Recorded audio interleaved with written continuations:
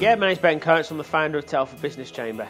In Telford alone, there's five and a half thousand businesses. There's some fantastic network groups around, but not none of them actually cater for the whole five and a half thousand businesses.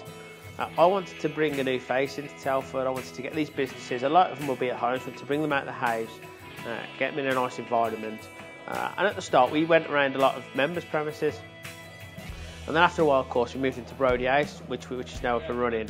Um, so we have our own conference room here. Uh, but the key is is connections. Is not to. It's not about me. It's not about the chamber. It's about the people in the room. And that's one of my philosophies. Is if, if they're successful, I'll be successful um, as Telford Business Chamber. It's relaxed. I love seeing people that come here six, six, eight months ago and couldn't stand up and give one minute, and now they can give 10 minute presentations. That for me is a massive achievement. And all we do is we encourage. We've had a new lady in the room today, as you know, uh, her first ever one minute. I've just said to her, really well done, uh, and she's chuffed a bit. And that's all it is. It, it's you know we have to start somewhere, and if we encourage new entrepreneurs to start somewhere, then that's what we need to do. We just launched a new website, telfordbusinesshub.co.uk, and that is to promote the tenants in Brodie House.